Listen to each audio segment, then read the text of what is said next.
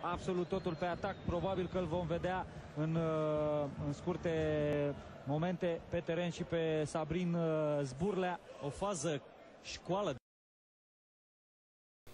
Startul bătăliei de la Piatra Neamț i-a găsit pe moldovenii îmbrăcați în alb complet destul de timorați. Jucătorii de la Fenerbahce au intrat hotărâți pe teren și deciși să plece acasă cu cele trei puncte puse în joc. Nu a durat mult până să găurească poarta lui Dani Coman. În minutul 12 pe stadionul Ceahlăul s-a așternut liniștea. Caner, vrând să-și impresioneze antrenorul pentru un post de titular, a reluat cu capul pe lângă Coman și tabela arăta 0 la 1.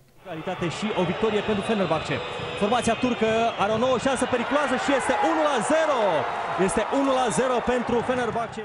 Galben-verzii n-au vrut să rămână datori, iar după numai două minute au declanșat infernul pe stadion. Marius Niculae înțepând mingea în poartă din centrarea lui Sânmărtean. A fost 1 la 1, iar oamenii lui Șumi au prins aripi și au preluat inițiativa. Conducătorul de joc al lui FC Vaslui Sânmărtean centrează acum în spatele defensive și este gol! Yes!